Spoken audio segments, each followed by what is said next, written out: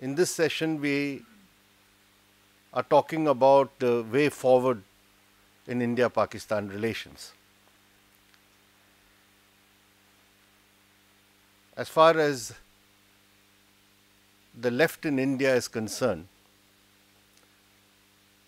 we think that the future course of direction in our whole South Asia region, the future of peace, of progress, of development for our entire South Asia region to really go forward, go forward politically in a democratic fashion, economically to go towards a path of development which will lift up the millions and millions of people who are in poverty in this region and also for the overall peace and stability for in Asia. Today, as we look around the world, we find that there is a growing trend for regional cooperation and regional groups and blocks to be formed. New alignments are taking shape. We have seen how in Latin America there is great progress being made among the Latin American countries for economic and regional cooperation. Only recently the all the Latin American and Caribbean countries got together to form a community of the Latin American and Caribbean countries. We have seen how great progress has been made by ASEAN earlier. We saw just the last two days in Delhi the BRICS summit where new the potential of this alignment of block of countries has been shown. But really we have not seen any real progress in South Asia. And the heart of the problem lies in the relations between India and Pakistan. Now, I think the way forward, from what I can gather from what discussions you have had, I see it as threefold in three areas.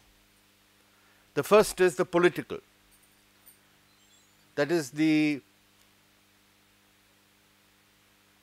state to state relations, India and Pakistan, the dialogue which has been there, the composite dialogue, which has had its ups and downs. We on the left in India have consistently maintained that this dialogue should continue, this dialogue should be broadened and deepened. And irrespective of the government in power here in Delhi, we have maintained that there should be no let up, there should be no stalling of the dialogue. In this connection, the areas of discussions that you have had, all those areas are part of this dialogue. Shahid Siddiqui mentioned about the promise or the potential that, that was there in the first early years of the UPA government. At that time, yes, he's right, we had expected, we had thought that the UPA government would be able to take some substantive steps to resolve some of the outstanding issues. And notwithstanding our various problems and difficulties with the UPA government, uh, we had consistently been uh, supporting and asking the Prime Minister at that time to really sincerely try and uh, address these problems and try to resolve some of them. It is unfortunate that even the most, I think, in one sense, the most ridiculous uh, issue or the confrontation that we have between the two countries on the Siachen Glacier and the huge amounts of money and resources that we spend, and in which a large number of our soldiers die of frostbite, not from any other enemy attack or fire. Even that problem, which could have been solved, according to me, uh, in 2004 to 2007, that could not be resolved.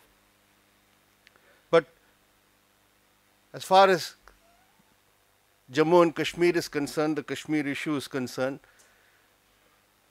I'm not going into that now because there is not much time for that. We have been telling the government that here is a problem which needs to be discussed with Pakistan, it needs to be discussed with the people of Kashmir, the dialogue with the people of Kashmir, all shades of political opinion within Kashmir, and simultaneously talking to Pakistan. But at the same time, this should not hold the overall progress in relations up. It cannot be hostage. The overall process of advancing our relations. You can keep talking about Kashmir, it should be part of our dialogue with Pakistan. But just as in the case with China, we have this joint working group on the border dispute which has been meeting every year, every six months, and at times some efforts are made to try to see if they can take this forward. We have had special efforts made for that. But both countries know that this will not be resolved very soon. And therefore, uh, we have decided, we had decided not now, two decades earlier, that let us start improving our relations in other spheres. And you see the results of that today. That China is the biggest trading partner of India. In this last year, we have had $63 billion of trade with China. And I think the rate at which it is going will soon be $100 billion in the next three or four years. And therefore, the second area, while we carry on the political dialogue and we continue with our efforts at the governmental level to discuss this whole gamut of issues which you have discussed. Water is there. Water is a serious problem not only with Pakistan, we'll have, we have to discuss this with Bangladesh, we have to discuss it with Nepal, we have to discuss with China also about the Brahmaputra waters. Many th this is going to be a much wider problem for all the countries of this region. So we have to discuss these matters. But the real progress can be made, I think, in the area of trade and economic relations, which will be of enormous benefit to the our two countries and the peoples of our two countries. And that is why, as the previous speaker mentioned, the favored nation status, which has now been agreed upon by both countries, should really be the point of takeoff for us to now develop all round trade and economic ties, which will definitely help to create the atmosphere for, for the setting of relations on a very sound footing. While speaking about this, the political aspect, of course, is crucial. And here I'm not talking only about the state to state relations and the formal official dialogue that is taking place or should take place. But we have to recognize that we have to fight various battles in our respective countries. Uh, I do not underestimate the political challenges and the difficulties regarding the breakthrough that we have to achieve in our mutual relations. In India, it is very much related to, directly linked to, how far we succeed in the secular and democratic forces in our country succeed in isolating and weakening the communal and sectarian forces in our country. Uh, those who think that there is no real political obstacle or challenge to improving Indo Pakistan relations, I think, are underplaying the issue. We have seen from our past experience how the, the, the, the Pakistan threat and the bogey of Pakistan is constantly used in India to heighten communal tensions and communal politics, which, it's, which has its own detrimental effect on our democratic and secular uh, system. And therefore, we in India have to carry on this two front struggle. One is to get the Indian government of the day to carry on with its efforts, whatever the difficulties, to seriously address our mutual problems and issues and to improve relations. And at the same time, we have to create the conditions, the atmosphere whereby the political establishment in our country will feel, will get encouraged or will feel emboldened to go towards a path of uh, dialogue and reconciliation. Here, uh, our experience has been also, and I hope that will be of some value to our Pakistani friends also. That is, after the Pokhran blast here and India declaring itself to be a nuclear weapon state, we had warned that this is a path which will lead, of course, you will also make the go on the same path, Pakistan, and then you will have a situation in this region where the United States of America will be the arbiter between our two countries, between the relations between our two countries. And what has unfolded after 1998 and after 2001 is that you have this in both our countries, the governments and the political establishment has sought to use the United States as a mediator or arbiter in our relations. We, in our quest to get legitimacy as a nuclear state. We've entered into talks, we entered into agreements. I don't want to go into that whole history.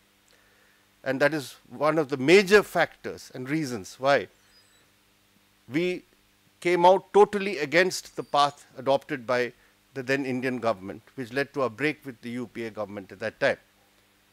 But I think that in Pakistan too, today, you're already facing that problem about your relationship with the United States of America, which is a far deeper and complex relationship that than we have with the United States of America.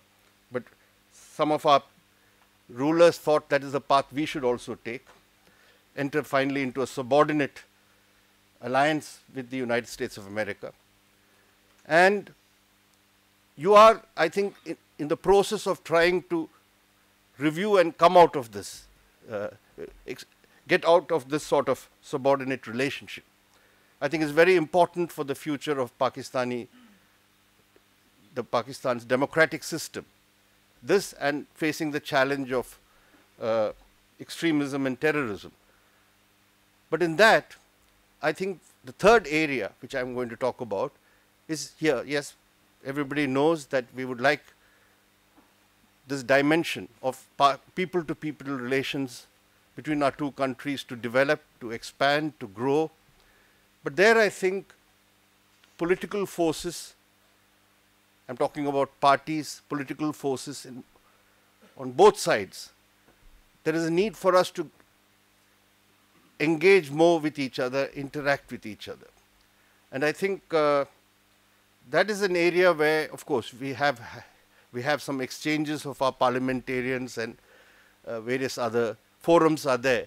But I think that in India, I think there has been a failure on the part of the or weakness on the part of the left and democratic forces that we have not done sufficient to to to to to to, to link up to relate to uh, the political parties and forces in Pakistan. Uh, I was telling one of my party meetings the other day, we are preparing for our All India Party Congress, that uh, we have better relations with various left progressive democratic forces in Latin America, in Europe, in other parts of Asia, and much less within our own region, you know. So this is one of the things which are very important, that along with this development of people-to-people -people relations, what you are talking about, civil society, I suppose you exclude us because we are political parties, though I don't agree with the definition of civil society, which is generally pervade. But I think that there are, there should be political forces in India and Pakistan who should get together. We may have different views and uh, different opinions about various things, but we should get together and not leave it to the governments of the day to try to tackle and resolve these issues. So I hope that the two days discussions that you have had here in Delhi uh, would help in the process of us getting together in the future to see the way forward. Thank you.